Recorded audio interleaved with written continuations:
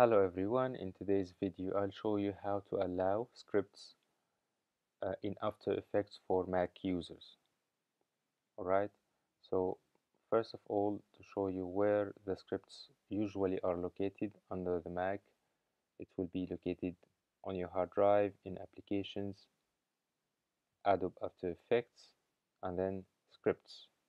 And then inside this folder you will find Scripts UI panels open this folder normally you will uh, drag in your scripts in here.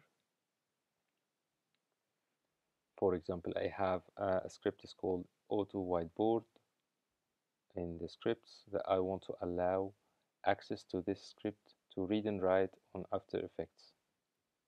So uh, simply you will go to After Effects preferences and then all the way down to scripting and expressions.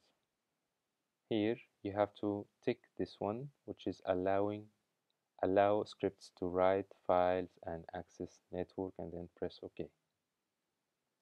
So if I open my script and here it's a bit hidden and here you can find the script is already running. I hope this is helping you. Thanks for watching and see you soon.